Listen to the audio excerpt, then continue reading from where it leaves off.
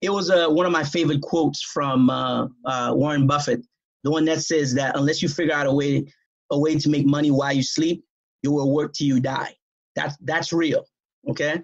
And and also to listen, if you guys want, again, I can also talk about the stock market, the importance of starting investing, the importance of being an owner in businesses. But to do that, you need a financial foundation. You see what I'm saying? You know, I mean, I can't tell you to invest in the stock market if you're just trying to figure out how to live.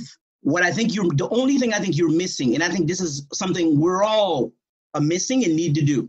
You need to have a goal. Okay. You need to have a goal. And what I mean by a goal is you need to have a goal of what you want, how much you want, and when do you need it by. And here's why. So when you have a goal and you say, hey, you know what? My goal is, for example, you say, my goal is by the time I am 55, I want to have, say, a million dollars. If that's your goal, then you can work backward from that goal. The link that I sent, Rachel probably sent with the calculator, is that if you notice on the left hand side, there are two calculators. There's one for compounded interest, but there's another calculator called the saving calculator. The saving calculator is a calculator that basically said that you put how much money you want to have in there, and then you say how much you plan to put in, and it will tell you whether or not you will reach that goal or not. And I think a lot of us is missing is having the goal. And the reason having the goal is important is because the biggest mistake people make when you also sometimes hear a lot of rich people not happy, they're not happy because they've never set a goal for themselves. Their goal is to compare themselves against other people. That's pure foolishness because that's a game that you'll never win. Because there'll always be someone else who have more money than you. You know, I always I talk, tell Richard sometimes about my boss. This is a guy who complains about how he's doing okay, he's not doing as well as he should compared to his old roommate from college who's worth a billion. So he's someone you have to remind, like, you realize that you're richer than 99.99% of the people in this country. You see what I'm saying? So to me, I think you start with a goal.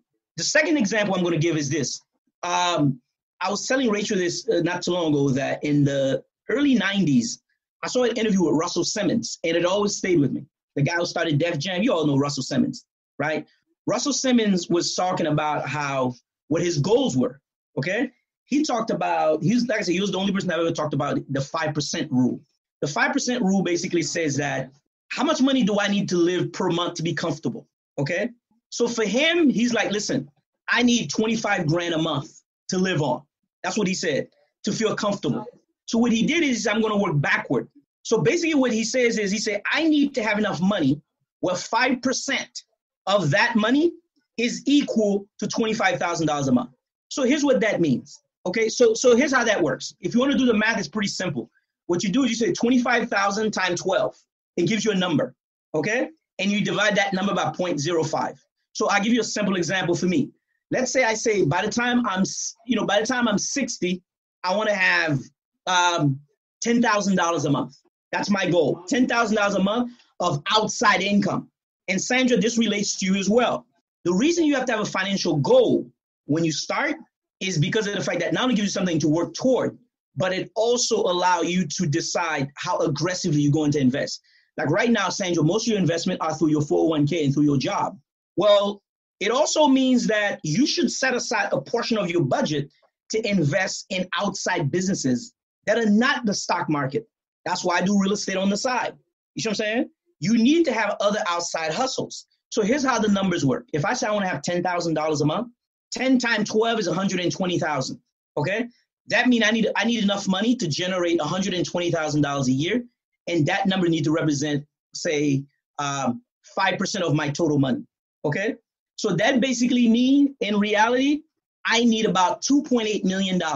Because if you do the math, if you say 2.8 million times 5%, it comes to about $120,000 a year.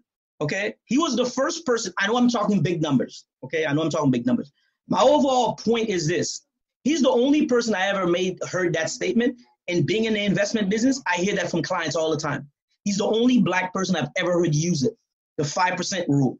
So what you have to do is work backward for yourself and say, how much money do I want to have to be comfortable? And if you say, you know what, if I have, you know, my expenses are low. By the way, the really rich people, there's a book called The Millionaire Next Door. This is the average person who a millionaire is not what you think. It's not some guy in a fancy car in a fancy home. No, it's regular people. The key is living below your means. The problem we have as a people is that we live for each other. To, we're busy impressing people who don't have anything, and we're all we're all like running around trying to impress each other, and we don't and we're impressing people who don't have anything. You see what I'm saying?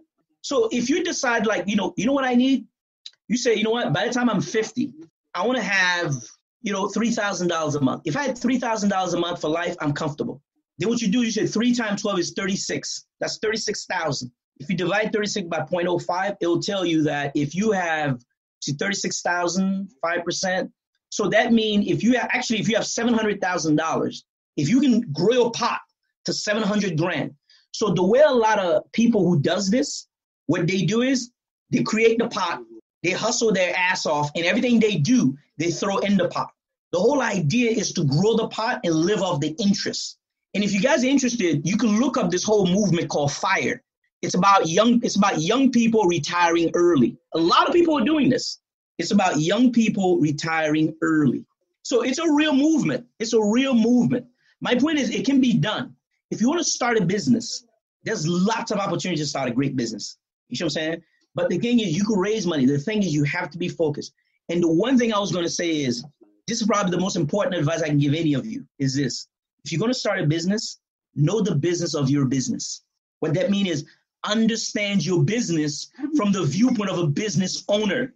A lot of people know a lot about their business. They know how to do their jobs. They know how to do their business, but they don't know very much about the business of their business. What I mean by that is Kareem, I'm sorry, um, KK and Stacy, you both are hairdressers.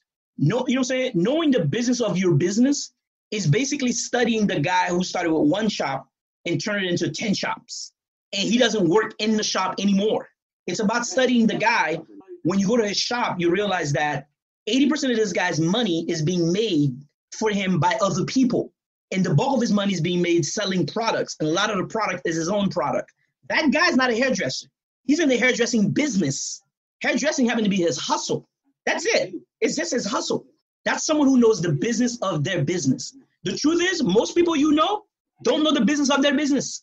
They know how to do. By the way, that includes people who are lawyers, who are doctors, particularly when they're professionals. They know a lot about how to do. Okay, you know how to go in and do hair, right? You know how to collect money from clients. But here's a question How much do you know about the, the hairdressing business? What I mean by that is, what is the business model that create a successful shop? A shop that can be replicated. To replicate something, you need a concept. Do you have a concept? You see what I'm saying? Concepts are replicable. It's like franchises, right? There's a franchise for everything. When you buy a franchise, what do you think you're buying? You're buying a replicable concept. So, how do you learn about the business of your business? Start reading about successful people who are in your business. Start reading about the what they call the periphery industries of your business. That means getting a book and reading about things like um, the beauty product industry. You see what I'm saying? The hair product industry, the real estate side, of, of, of hair salons. You see what I'm saying? So there are people, there was a woman I was reading about one time. Actually, know, there's a guy in Massachusetts. The story was about how he became, uh, I mean, this guy's worth probably 30, 40 million dollars, and he was a hairdresser. But the whole article was about how he tried to move into this co-op, because you know, co-ops you have to be invited in. And it was where a lot of these old money in Boston live, and they wouldn't let him in, even though he had money to buy the apartment. Okay. And the whole article was about how he became successful. And he used the term he learned the business of his business. And one of the things that he talked about as a hairdresser was that he said, I look back and realize I'll never be rich just doing people's hair because how wealthy I'm going to be is going to depend on how many hair I can do. There's not enough hours in the day. So I need to do something else. So he says stepped back and he spent a year studying the business of hairdressing and how to become a hairdresser. You know what he quickly realized? He said, I need, to, I need to own the stores. I need to sell the items. Okay. So he decided he designed he started his own line of products, which he started putting in his stores. So basically, what the guy started doing was using his credit, buying space, setting up shop, putting people in, and sell his product at those shops. So now he's collecting money, he's collecting rent, and he's selling products. Okay. So do you know the business of your business? I don't care what the business is. Okay. The last time I heard that example of someone was Kevin Hart. Someone talked about how he's not the funniest guy there is by the way, there's a lot right here in Miami. You can find probably 100 comedians that are funnier than him. But if you're interested, Watch this documentary about him on Netflix. You know what you realize very quickly? He understands the business of comedy. He also understands that he's not the funniest guy. So my point is your success has very little to do with how good you are at doing that job. You can be the greatest hairdresser ever and still be broke and still live paycheck to paycheck. And you can meet someone who's a very average to below average hairdresser who's a multimillionaire. So my advice, know the business of your business. Man, I just appreciate y'all just listening. Stay tuned for the next episode.